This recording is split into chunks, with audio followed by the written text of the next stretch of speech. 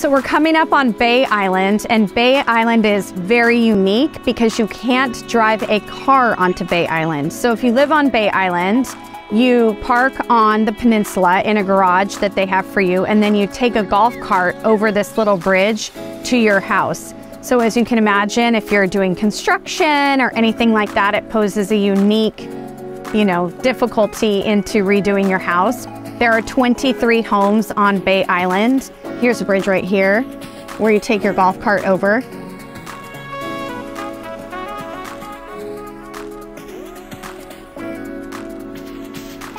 So you'll see a lot of people who do construction here actually bring in everything in by, by boat, all the lumber and everything. So you'll see it pulled in and they're taking the lumber off the boat to do everything, all the construction.